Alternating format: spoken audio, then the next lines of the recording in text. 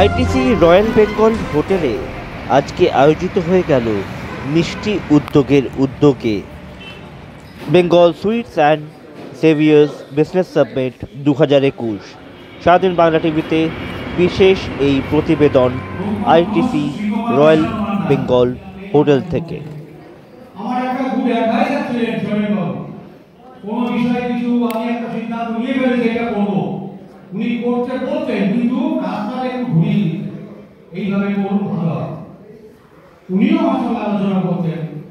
আজকে পরামর্শদাতা পর্যন্ত কাউকে আমি পাইনি মিষ্টান্ন যাই হোক, সৈকত সৈকত বাবুর হাতে তুলে দিচ্ছি মিষ্টান্ন জিআই হ্যাঁ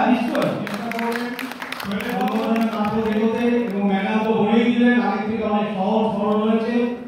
এবং এর আমরা যতগুলো জমা দিয়েছিলাম এখনও চেন্নাই থেকে এসে দপ্তরে পৌঁছানি আবার ফিরে দেওয়া হচ্ছে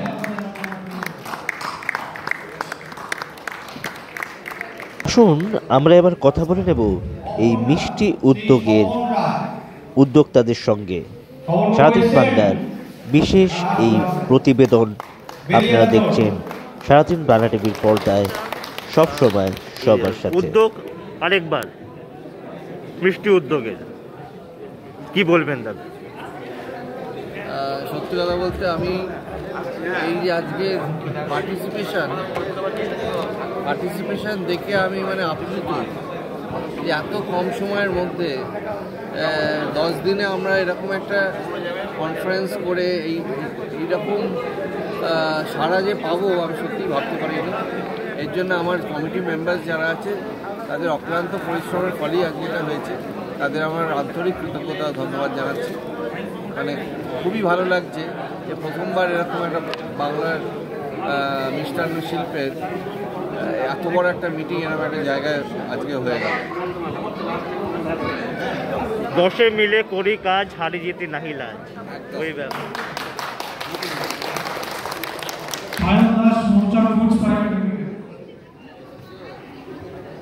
আজ আপনাদের যে এটা হলো, এই উদ্যোগটা, অভিনব একটা উদ্যোগ এই বিষয়ে যদি কিছু বলেন।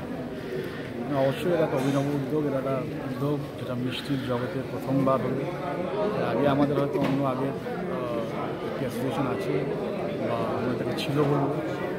তারা সেভাবে আমাদের মিষ্টি, বাংলার মিষ্টি, যারা মিষ্টি প্রস্তুত প্রস্তুতকারক, তাদেরকে সেভাবে অনুপ্রেরণা দেওয়া, তাদেরকে এগিয়ে নিয়ে যাওয়া, তাদেরকে টেকনোলজির সাথে আপডেট করা, সেটা কখনোই হচ্ছিল না। একটা মিষ্টি উদ্যোগ সৃষ্টি হয়েছে তার জন্যই।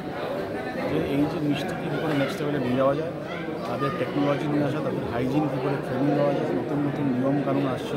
সেই নিয়ম কানুনের সাথে তাদেরকে কী করে ওয়াকিবহাল করা হয়, এর জন্যই মিষ্টি উদ্যোগ তৈরি হয়েছে। আগামী দিনে মিষ্টি উদ্যোগ আমাদের সমস্ত মিষ্টি প্রস্তুতকারক এবং যারা মিষ্টি বিক্রেতা তাদেরকে হাত ধরে এগিয়ে নিয়ে চলার জন্য এই উদ্যোগের সৃষ্টি।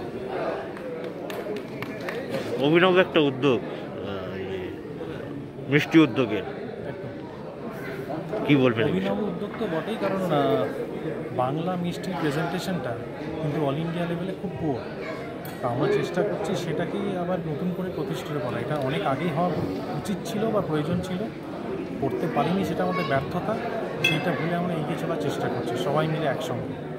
আমাদের সাপোর্ট করুন, এইটুকুনি বলার। ধন্যবাদ। এই উদ্যোগটা করা, মিষ্টি উদ্যোগটা, আশা করি ভবিষ্যতে আরও অনেক কিছু করব। আমরা অ্যাসোসিয়েশনের সঙ্গে যুক্ত হয়ে আজকেও অনেকটা অনেকটা জিনিস আমরা জানতে পেলাম। আর নিকট ভবিষ্যতে আমরা আরও অনেক কিছু করব। আমরা শুধু আমাদের কলকাতার ব্যবসায়ীদের নয় পুরো ওয়েস্ট বেঙ্গলের যত আমাদের ছোট বড় মিষ্টান ব্যবসায়ী আছে সবার জন্যই আমরা ভাবছি। আর আশা করি সবাই যোগাযোগ সবাই আমাদের সঙ্গে হাত বাড়িয়ে কাজ করবে আর আমরা ওদের সবাই কিছু দেবো মিষ্টি উদ্যোগের। কি বলবেন এই বিষয়ে? ব্যাপারটা হচ্ছে যে বাংলা তো মিষ্টি তো একটা বাংলার হেরিটেজ প্রোডাক্ট বাংলার কেন? ভারতবর্ষের।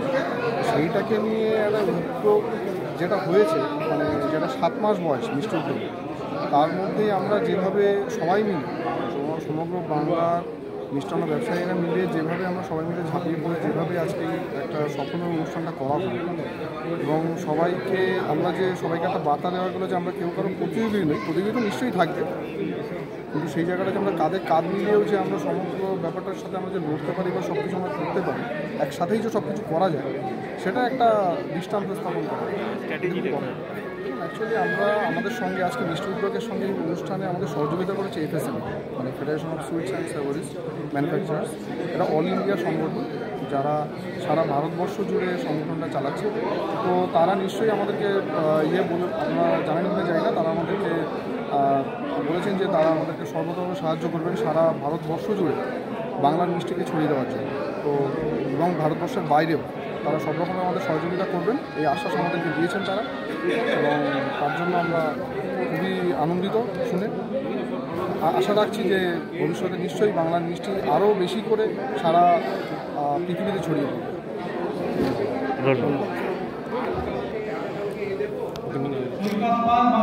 মিষ্টি উদ্যোগের এটা একটা অভিনব উদ্যোগ। এই মিষ্টি উদ্যোগের উদ্দেশ্য এবং তার মার্কেটিং স্ট্র্যাটেজি কি করে এটা বিশ্বের বাজারে ছড়িয়ে দেওয়া যায় সেই ব্যাপারে মিষ্টি উদ্যোগের ভাবনাটা কী? দেখুন একদমই সঠিক প্রশ্ন। আমরা এই প্রশ্নটারই উত্তর দেওয়ার জন্য মিষ্টি উদ্যোগ তৈরি করলাম। কারণ আমাদের অলরেডি আমরা একটা সংগঠন আমাদের প্রাচীন আছে, মিষ্টান্ন ব্যবসায়ী সমিতি। কিন্তু সেই যে প্রাচীন চিন্তাধারার মধ্যে কি হচ্ছে, আমাদের মধ্যে একটা সংকীর্ণতা তৈরি হচ্ছে। আমরা বৃহৎ কিছু ভাবতে পারছি তার ফলে কি হচ্ছে, বাংলার মিষ্টির ব্যবসাটা অন্য কেউ নিয়ে চলে যাচ্ছে।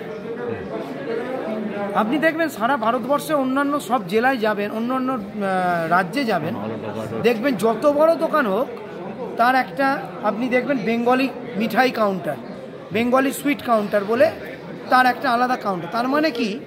যে যেখানে যে মিষ্টি থাক না কেন, ওই বাংলার ওই মিষ্টিটা যে কাউন্টার করে দিল না, তার একটা আলাদা সম্মান। তাহলে এই তার মানে আমাদের বুঝতে হবে, আমি নিজের মিষ্টির সম্মান নিজে বুঝতে পারছি না। কিন্তু এই বাংলার মিষ্টির সম্মান সারা ভারতবর্ষ, সারা পৃথিবীব্যাপী ছড়িয়ে রয়েছে। সেটা বুঝতে পেরেছিল আজ থেকে সেই দেড়শো বছর আগে নবীনচন্দ্র দাসের সুপুত্র কেসি দাস, কৃষ্ণচন্দ্র দাস এবং তার ছেলে সুপুত্র সারদাচরণ দাস, যেই রসগোল্লা ক্যানিং করেছিল বলে সারা পৃথিবীর বুকে ছড়িয়ে গেছিল। কিন্তু এইবার সময় এসেছে যে বাংলার পুরো মিষ্টিটাকে সারা পৃথিবীর বুকে ছড়িয়ে দেবে। কারণ এক একটা জেলায় এক একটা মিষ্টি বিশেষভাবে তৈরি হয়। বলতে গেলে এখন অনেক কিছু বলতে হবে। কিন্তু এই বিশ্বায়ন যদি আমরা এখন না করি তাহলে আমাদের এই ক্ষুদ্র কুটির শিল্পটা মাটির তলে চাওয়া পড়ে যাবে। অতএব সময় এসেছে এটাই যে আমরা এটাকে সবার সামনে পৌঁছে দেব বিশ্বের দরবারে পৌঁছে দেবো। আরেকটি প্রশ্ন টেকনোলজিকে আপনারা কীভাবে ইউজ ইউজ করবেন বলে ভেবেছেন? টেকনোলজি আমরা অলরেডি গত দশ বছর ধরে ব্যবহার করছি। কারণ আমাদের এই যে মিষ্টির যে শিল্পটা না নতুন করে আর কোনো কারিগর আসছে না। যে কারিগররা কাজ করছিল, যে শ্রমিকরা, যে শিল্পীরা, শিল্পী বলি আমাদের, সহকর্মী, শিল্পী যারা কাজ করছিল, তাদের নেক্সট জেনারেশন কিন্তু আর আসছে না।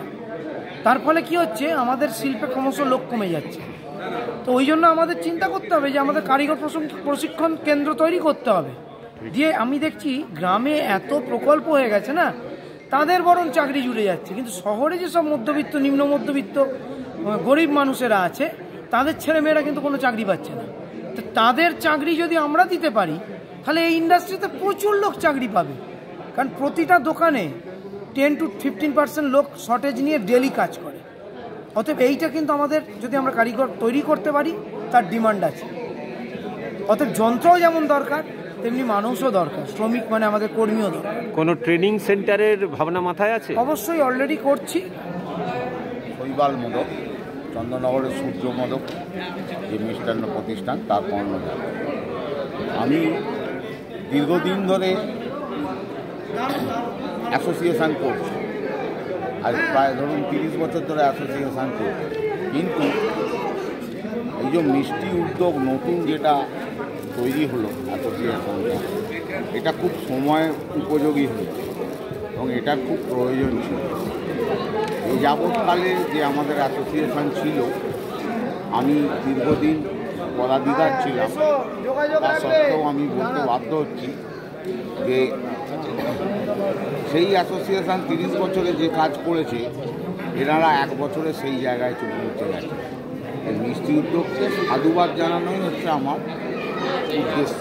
আমার সেই মিষ্টি উদ্যোগকে সাধুবাদ জানাচ্ছি এবং আমি এই মিষ্টি উদ্যোগ যাতে আরও এগিয়ে যেতে পারে, এগিয়ে গিয়ে আরও কাজ করতে পারে।